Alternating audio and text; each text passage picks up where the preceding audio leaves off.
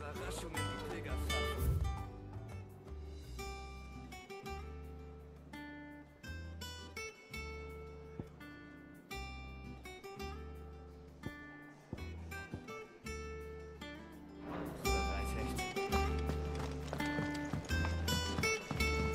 Eines Tages will ich mal das andere Ufer.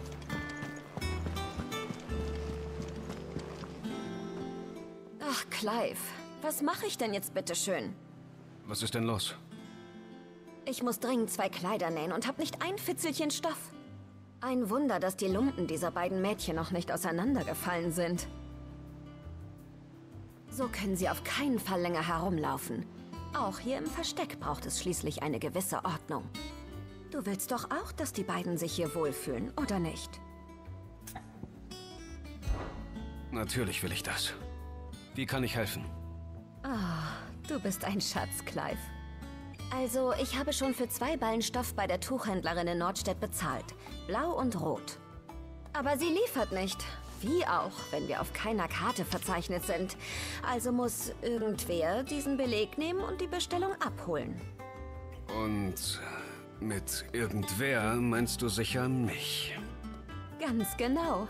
Und lass dich nicht mit weniger abspeisen als das, wofür ich bezahlt habe. Ein Ballen blauer und ein Ballen roter Stoff. Ich brauche beide.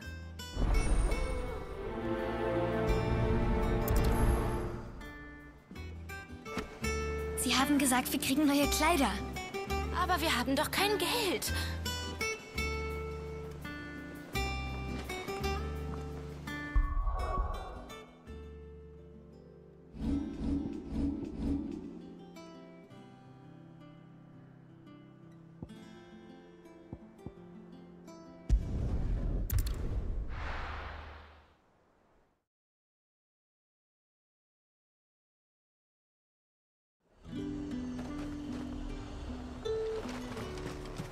Halte die Sardinen schön kühl. Ich Nun sieh dir das an. Wir haben einen... Hoffentlich hat die Tuchhändlerin den Stoff. Wie wäre es mit ein wenig Damast? Oder lieber ein paar Meter Samt? Oder Loden? Nur etwas Leinen. Zwei Ballen. Sie sind schon bezahlt.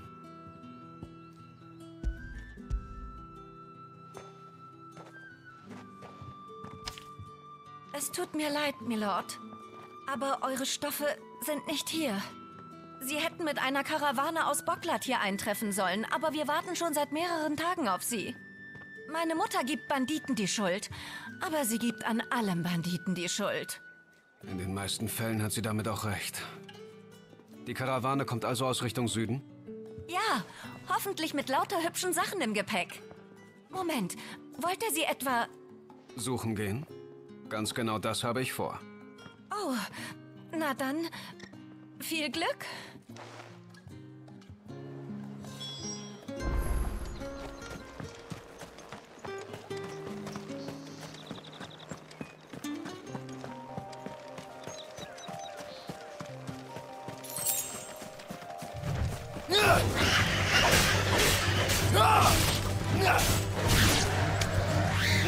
Ah! 呀呀呀呀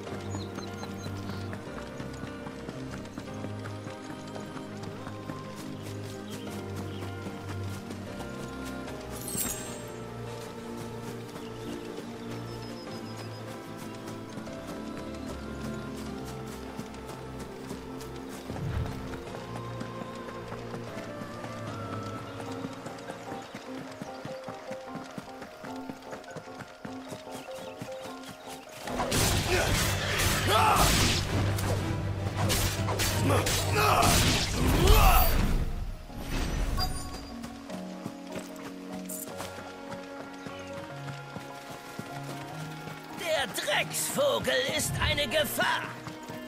Es war nur ein Versehen, ehrlich.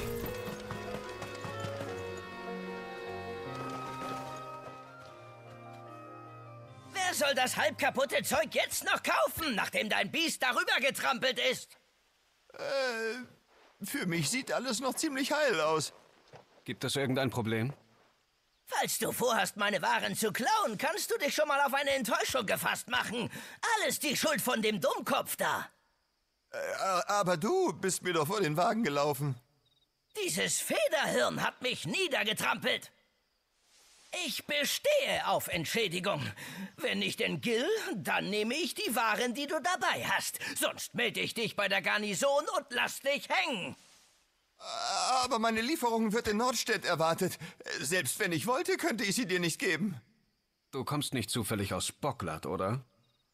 Ja, äh, komme ich, äh, aber...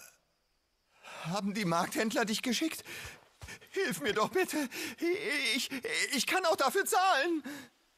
Der Trottel hat also Verstärkung. Und Gil scheinbar auch. Tja, tut mir leid für dich, aber die werden wir uns jetzt nehmen. Hey, Schlechter! Zeit zum Abkassieren! Du sollst mich nicht so nennen.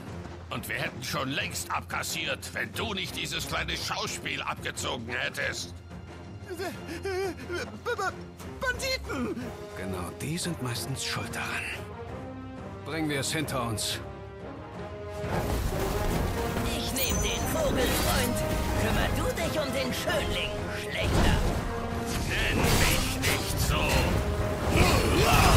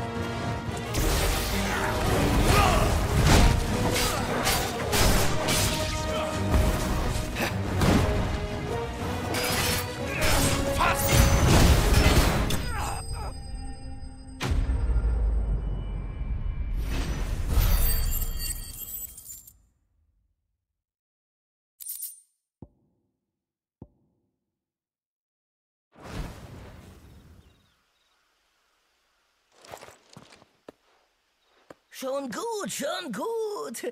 Ich gehe ja schon. Schlechter, dass ich nicht lache. Ist alles in Ordnung? Ja, dank deiner Hilfe. Dieser Betrüger wollte wohl den Banditen die Drecksarbeit erledigen lassen. Und hätte der große Gilbert dich nicht geschickt, wäre ihm das sicher auch gelungen. Meine Lieferung ist gerettet. Oh, ohne dich wäre ich jetzt ruiniert. Bitte lass mich dich belohnen. Darüber können wir auch in Nordstedt reden. Ich werde dich dorthin begleiten.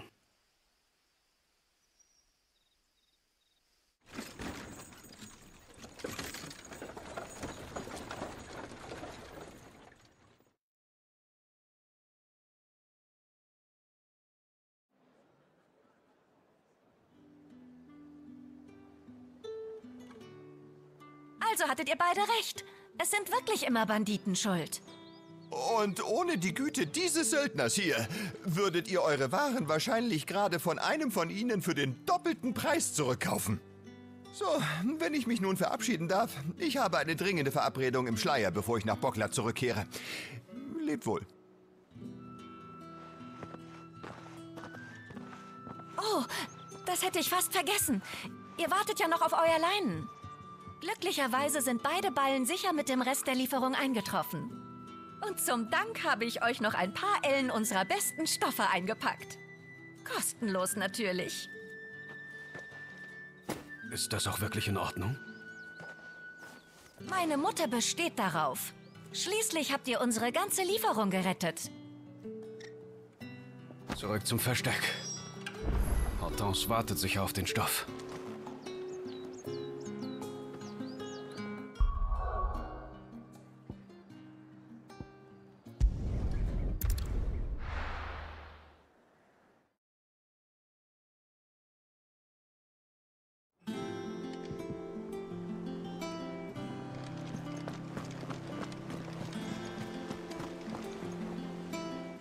Clive, entschuldige, dass ich dir Umstände gemacht habe.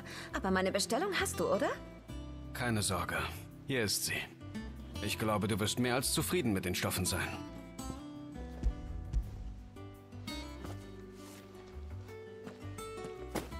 Mal sehen. Ein Ballen rotes Leinen, ein Ballen blaues. Huch, ich erinnere mich nicht, Samt oder Seide bestellt zu haben. Oder ist das Goldstickerei? Gütige Gwigor. Ich hoffe, diese Händlerin erwartet nicht, dass ich das alles bezahle. Du kannst ganz beruhigt sein, Hortense. Das waren Geschenke. Zum Dank für einen Gefallen. Ich kann sie natürlich auch zurückbringen. Oh, ich, äh, äh, nur nichts überstürzen, Clive. Ich werde schon irgendwas damit anfangen können. Da fällt mir ein, welcher von den dreien gefällt dir denn am besten? Hm? Äh, ich weiß nicht.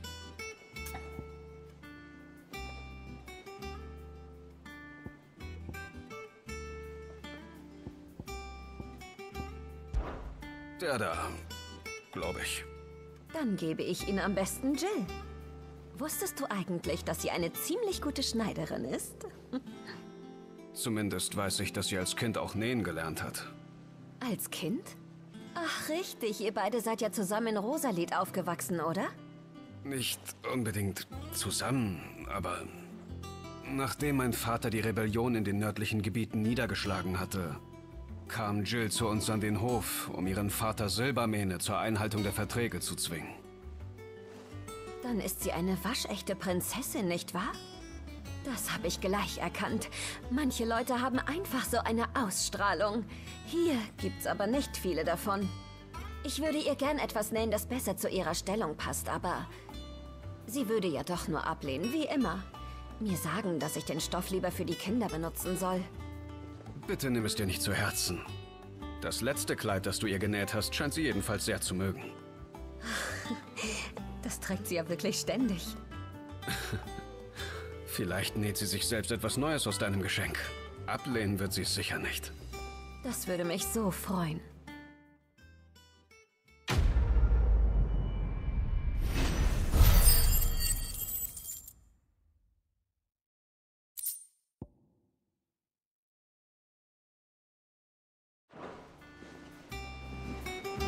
Hat gesagt, dass sie unsere neuen Kleider aus Leinen macht.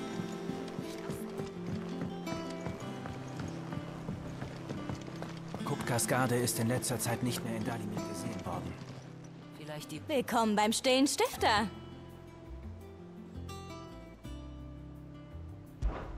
Deine Gönner sind sehr großzügig. Hier, bitte. War's das?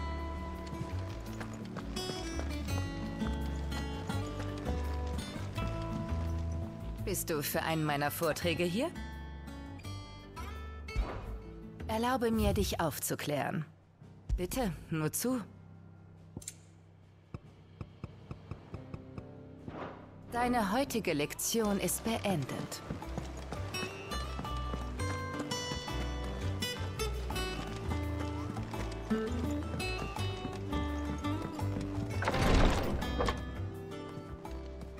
Mehr kann ich leider nicht tun. Schone dich jetzt. Und achte in Zukunft bitte besser auf dich.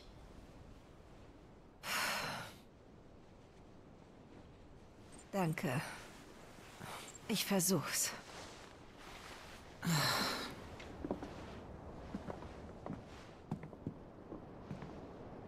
Es ist der Fluch. Sie braucht jetzt Ruhe.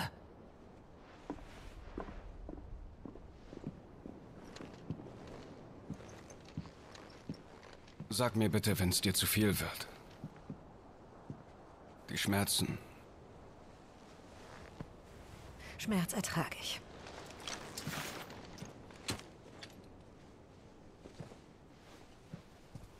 Das solltest du aber nicht. Nicht mehr. Das hier ist nicht nur dein Kampf, Clive. Es ist unserer. Wir alle sehen, wie hart du kämpfst.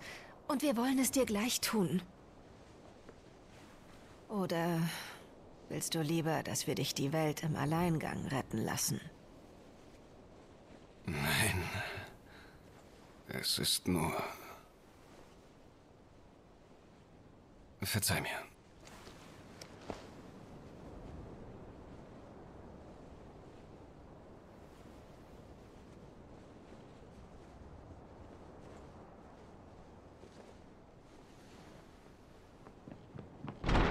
Clive, wo bist du? Hier drin.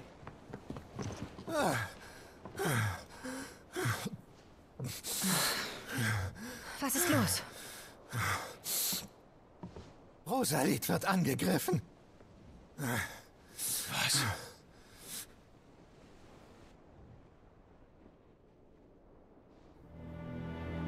Das ist nicht das dalmekische Heer, von dem wir hier sprechen. Das ist die steinerne Wache von Drachenfang. Hugo Kupgas Leibgarde.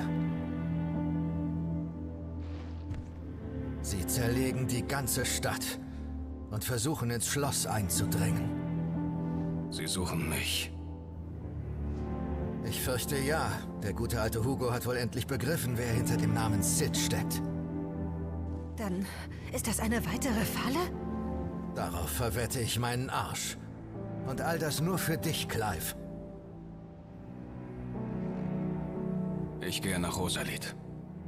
Soll das ein Scherz sein? Du willst genau das machen, was er sich erhofft? Jill. Ich weiß nicht, warum Kupka es so auf Sid abgesehen hat. Doch solange sein Hass mich verfolgt, wird es niemals Frieden geben. Jetzt ist auch der Rest von Sturm Teil dieses sinnlosen Kriegs, um mich zu finden. Außerdem werde ich nicht tatenlos zusehen, wie er meine Heimat in Schutt und Asche legt. Hugo Kupka muss sterben. Er hat schon genug meiner Freunde auf dem Gewissen. Ich will nicht, dass es mehr werden. Also dann los. Lasst uns ihn kalt machen. Ich komme auch. Schließlich stecken wir alle da drin. Also gut.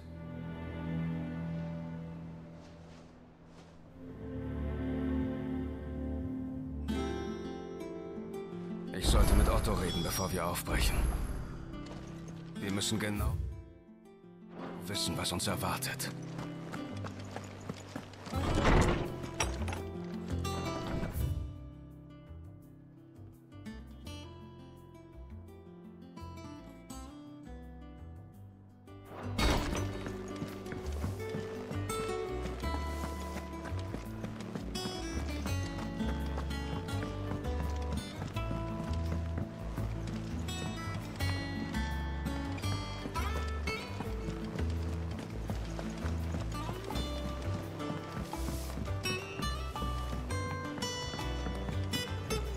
Müssen jederzeit nach Rosalit aufbrechen können.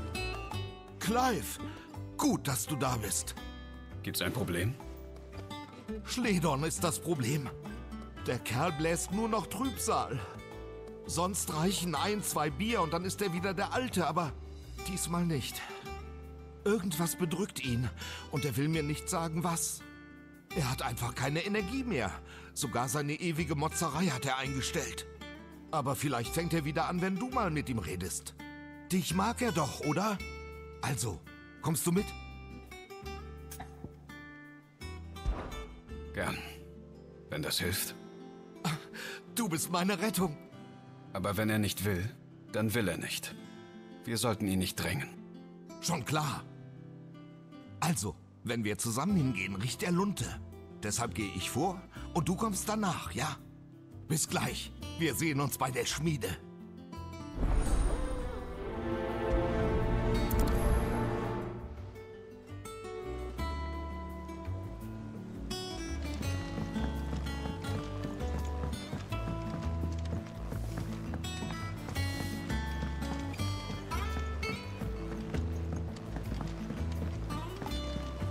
Eines Tages will ich mal das andere Ufer vom See sehen.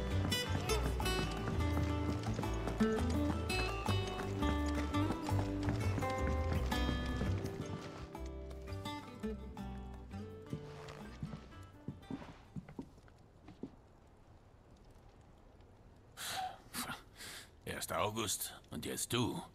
Was ist hier los? Ich bin doch sonst nicht so beliebt. August macht sich Sorgen, dass dich irgendwas bedrückt. Ich dachte, du willst vielleicht drüber reden. Interessant. Ich hab dir gesagt, dass ich in Ruhe gelassen werden will. Und was machst du? Clive will doch nur helfen, oder? Ist doch nett von ihm.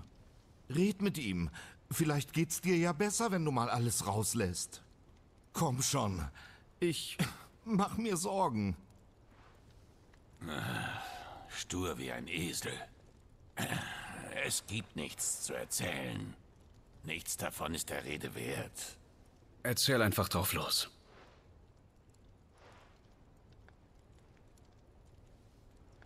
Charon und ich haben eine Abmachung. Ich helfe ihr mit Götz und sie zeigt mir, was die Konkurrenz so macht. Interessante Waffen, Rüstungen und so weiter. Neulich hatte sie irgendwo einen Kyras aufgegabelt. Meisterhafte Lederarbeit. Leicht und widerstandsfähig. Sowas hast du noch nicht gesehen. Dagegen sind meine plumpen Sachen der letzte Schrott. Ich hätte das Mistding kaufen und mir die Technik abgucken sollen. Aber ich war zu stolz. Und jetzt denke ich Tag und Nacht an Ledernähte. Und daran, was für ein zweitklassiger Handwerker ich bin. So, zufrieden? Habe ich euch genug bespaßt? Dann zischt ab. Na gut, bis später.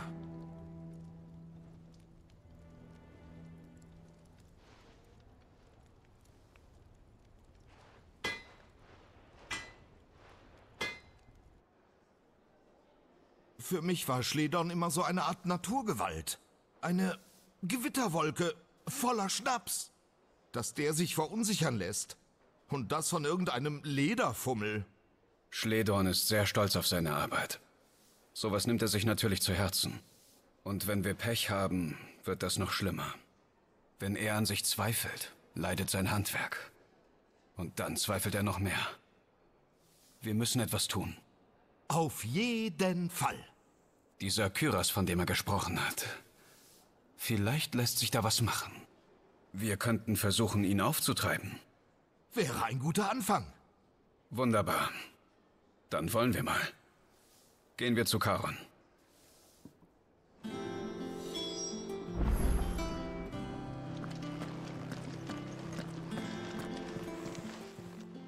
Charon, eine Frage.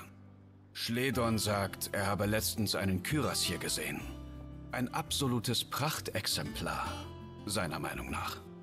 Er ist völlig besessen von dem Ding. Und da wollten wir es für ihn kaufen. Der ist leider schon weg. Ich dachte, Schledern will ihn nicht, so wie der die Nase gerümpft hat. Aber gut gearbeitet war er, das stimmt. Auch wenn der Hersteller ein komischer Vogel war. Ich bin ihm auf einer Reise begegnet. Dieser Kyros war wohl eine Auftragsarbeit, die aber nicht abgeholt wurde. Was weiß ich, was da los war. Da hab ich ihm das Ding eben abgekauft. Weißt du, wo wir ihn finden können? Wie gesagt, er war etwas schräg.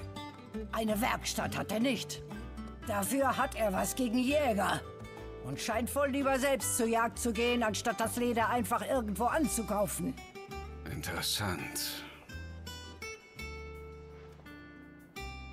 Und gerade fällt mir ein, er sagte, sein nächster Auftrag sei ein paar Beinschienen aus Greifenleder.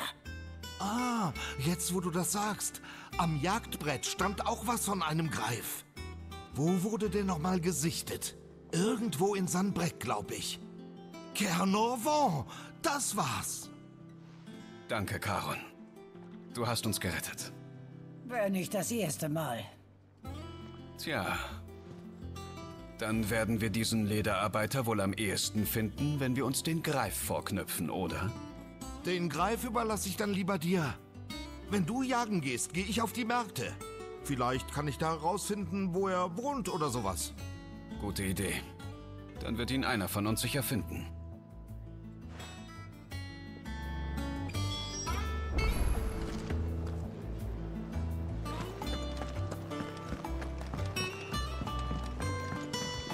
Eines Tages will ich mal das andere Ufer.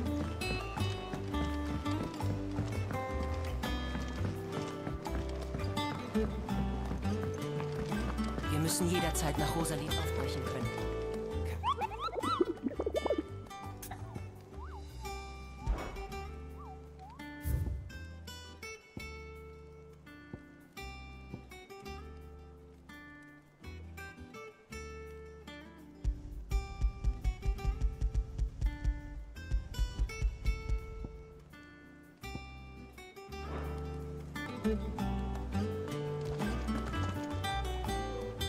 Hast du mit Gev gesprochen?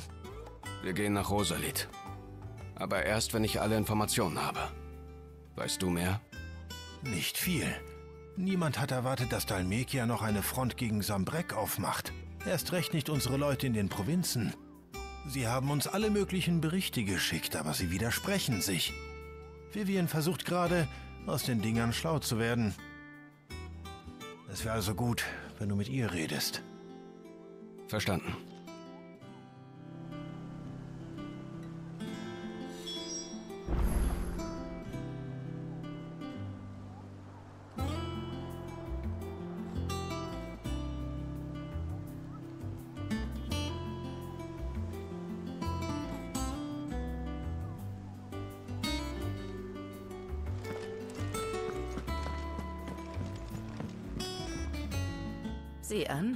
Ein Besuch von meinem Lieblingsschüler. Also gut, wo haben wir zuletzt? Ach, das ist ja überraschend. So gut besucht sind meine Vorträge selten. Wie sagt man noch? Bisschen Bildung, äh, schadet nie. Wir gehen nach Rosalit und stellen Kupka. Wie ist die Lage dort?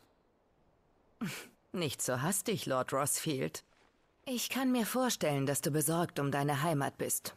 Doch um die jetzige Situation zu begreifen, musst du zunächst verstehen, wie sie zustande gekommen ist.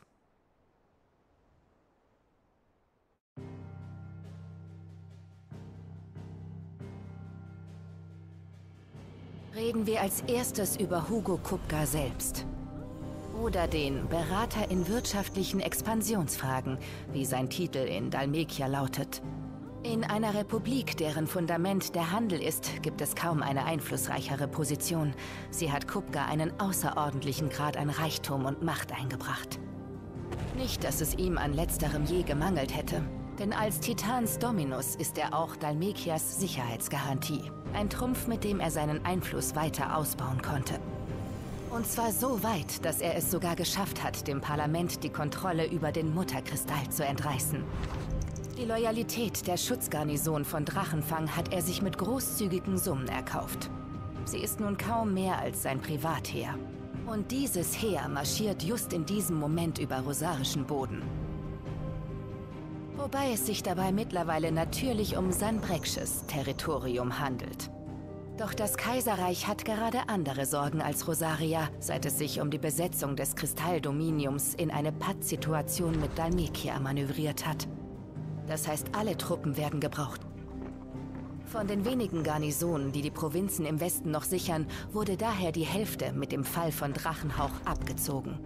Denn die Gefahr durch die Eisernen und somit die eines Überfalls über den Seeweg war vorerst gebannt.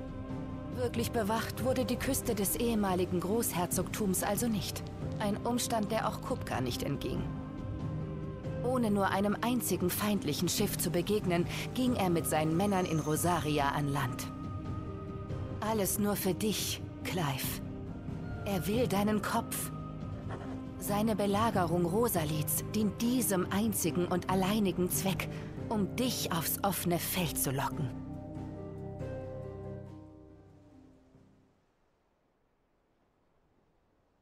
Du meinst, Kupka ist über den Seeweg gekommen? Was ist mit Port Isolde? Ist die Stadt sicher? Ja. Den Hütern der Flamme zufolge ist sie das. Die dalmekische Flotte ist ohne einen Angriff vorbeigezogen. Allerdings nicht unbemerkt. Sobald klar wurde, dass Kupka Rosalit ansteuert, haben die Hüter sofort die Evakuierung der Menschen dort in Angriff genommen. Die Bühne für eure heldenhafte Heimkehr wird also frei sein. Dennoch, wird es ein äußerst schwieriges Unterfangen, in die Hauptstadt zu gelangen. Hugos Männer sichern die Buitt-Brücke. Alle Versuche der kaiserlichen Armee, sie ihnen zu entreißen, waren erfolglos. Zudem scheinen sie aus den Fehlern Sanbrecks gelernt und entsprechende Vorkehrungen getroffen zu haben. Die Küste um Rosalit wird lückenlos von Dalmekia bewacht. Und nun sag, mein Schüler, wo denkst du liegt die beste Route in die alte Hauptstadt? Im Norden. Wir überqueren die Grenze am Phönixtor und reisen dann durch Stillwind weiter zum Schloss. Ein kleiner Umweg, doch so werden wir nicht entdeckt. Deine Ortskenntnis macht sich bemerkbar. Gute Reise. Brechen wir am besten sofort auf. Du begleitest sie? Ja. Mich juckt es schon verdammt lang in den Fingern, diesen Bastard zu erwischen. Das lasse ich mir auf keinen Fall entgehen. Gut. Wir sollten los. Jawohl.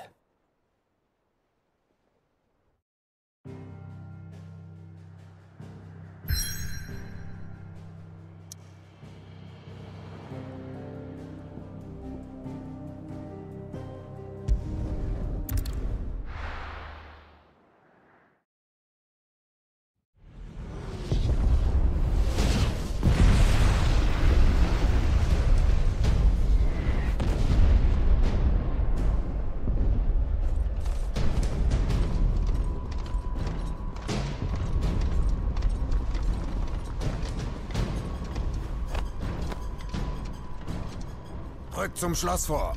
Jawohl.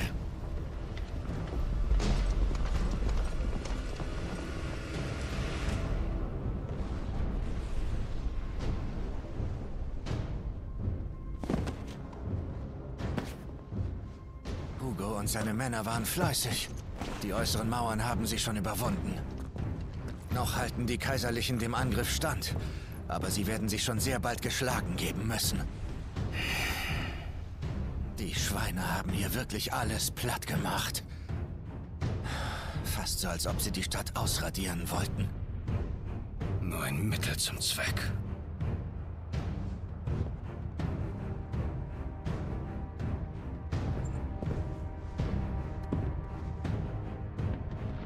All das für einen Mann?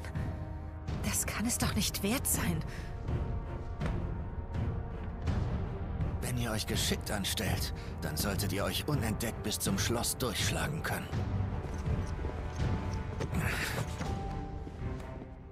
Ich werde noch ein paar Leute aufgabeln, die nicht mehr rechtzeitig rausgekommen sind. Gib acht. Ebenso. Macht mir keine Dummheiten.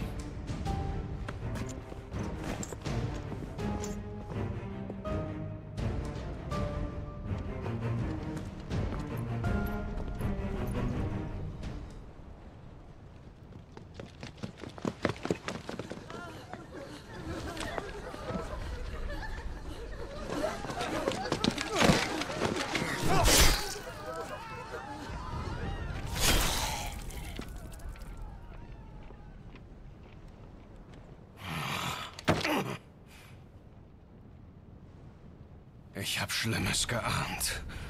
Aber Ich weiß. Es ist ein Albtraum. Unser Zuhause. Komm, Clive. Wir müssen weiter.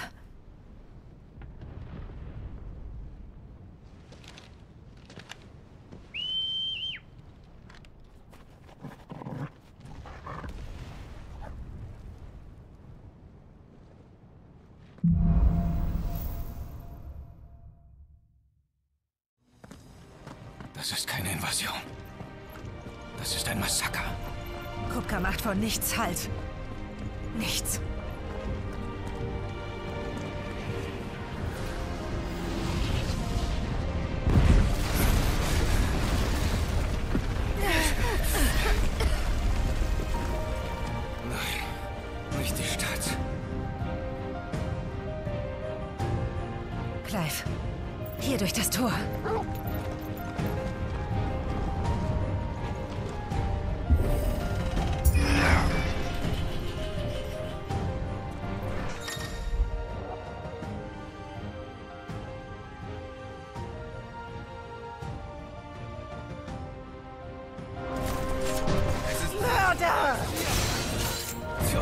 Verbrechen werdet ihr bezahlen.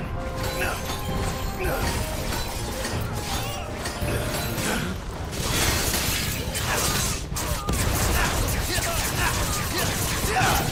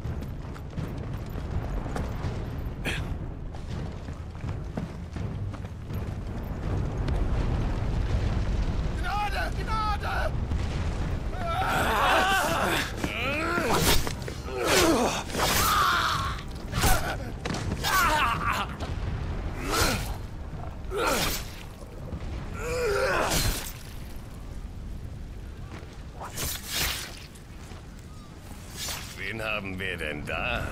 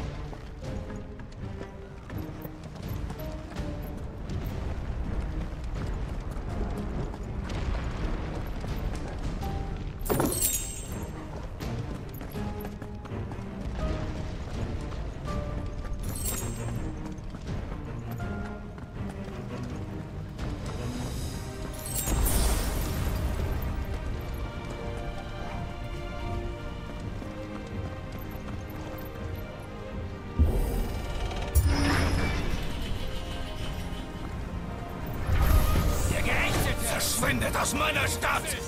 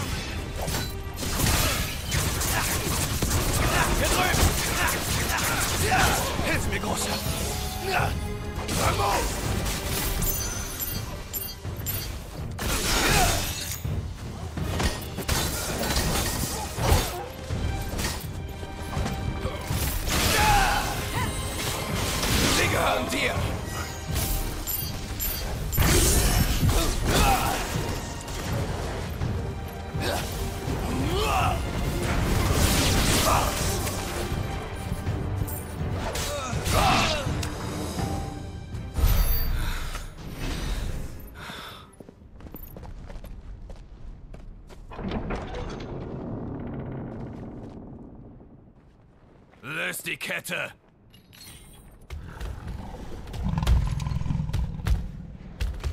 Achtung, Curl!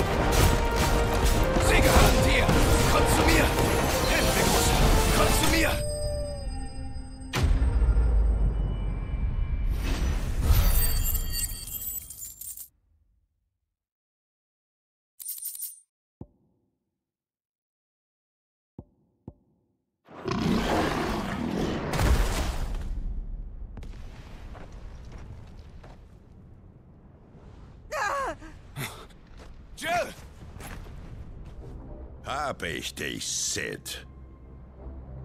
Oder sollte ich sagen, Lord Rossfield? Ich habe eine halbe Ewigkeit nach dir gesucht. Lass sie gehen, Kupka. Schön, dass du meiner Einladung gefolgt bist. Für den Anlass habe ich keine Mühen gescheut. Ich hoffe, dir gefällt die Kulisse. Bastard! Wirklich bedauerlich, dass dein Vorgänger nicht hier ist.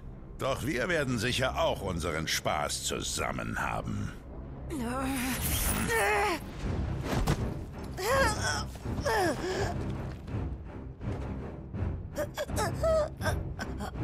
Sachte, mein Schneeflöckchen. Du willst doch nicht schmelzen, bevor dein Auftritt beginnt.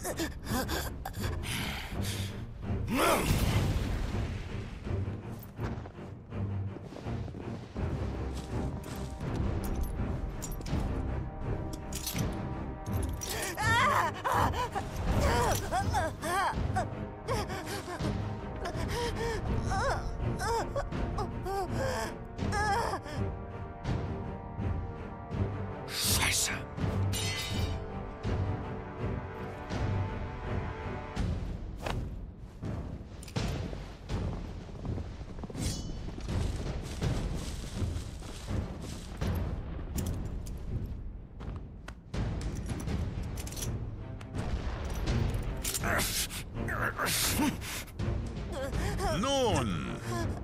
Zu den Feierlichkeiten.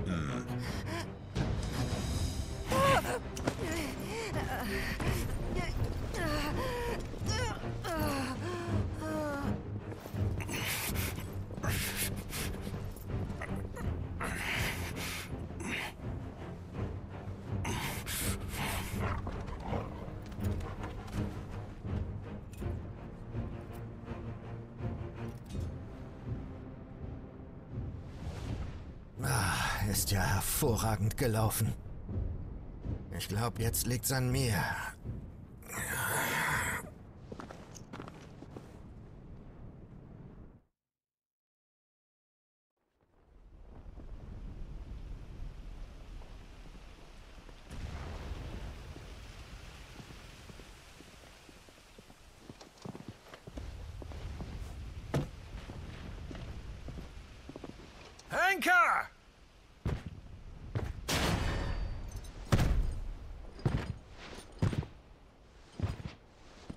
Welcher Kopf soll rollen?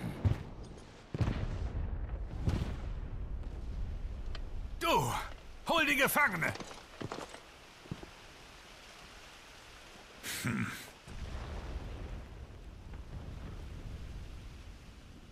Na, wer sich mit Geächteten einlässt, verdient es nicht anders. Hätte sie sich mal mit mir eingelassen. Befehl von Lord Kupka. Du darfst zusehen, wie deine Freundin hingerichtet wird. So eine Verschwendung.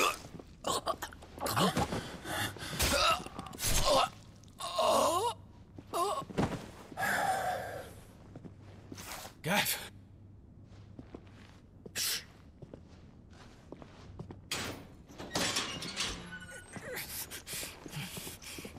Kristallfesseln sind schwer zu knacken, weißt du? Aber keine Sorge, ich krieg die schon auf. Wo ist Jill? Im Innenhof. Scheiße.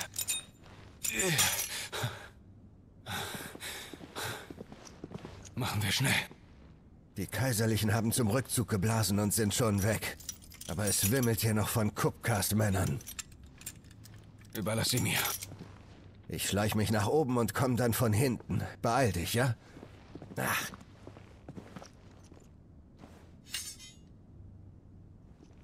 Fast vergessen.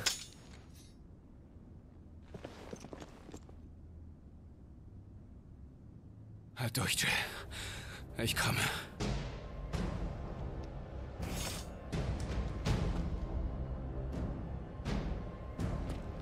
Ich muss sofort in den Hof.